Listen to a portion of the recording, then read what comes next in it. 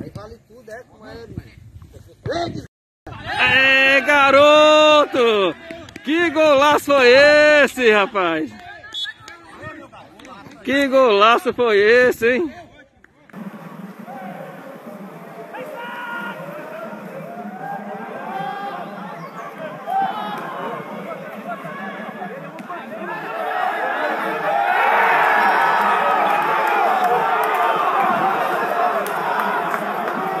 Golaço do Mate. 3 a 0 para Metral.